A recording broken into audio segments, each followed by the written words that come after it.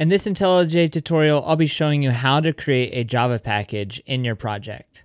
So there are a few ways to get to the menu to do this. One way is by going over to your Java folder and right clicking it and going to new and then going to package.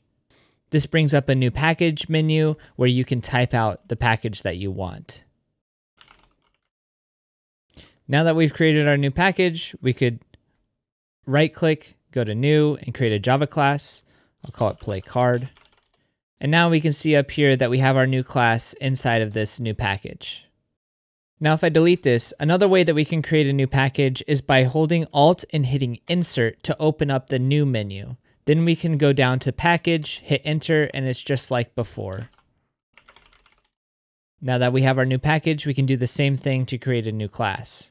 The third way to find this menu is you can go in the upper left, click on the three dots, go to New, and then go to Package. Here, just like before, we can create our new package.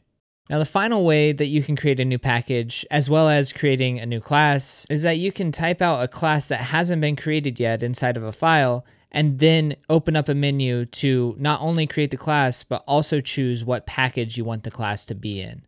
So here, I'll just create the fun class and I'll let autocomplete finish it off. And then I'll hit Alt Enter and I'll create class fun class. And now you'll see I get a pop-up. And in this pop-up, you can see a destination package where we can name this anything we want. If we were to say new, new P instead of new package, we can now hit enter and it will create that package for us automatically. And that is how to create a new package inside of an IntelliJ Java project.